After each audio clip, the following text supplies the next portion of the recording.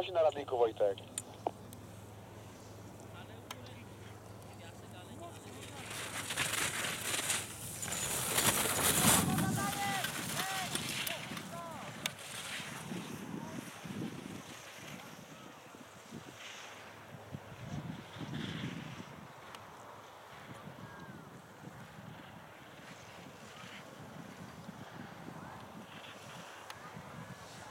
Anko i tu się.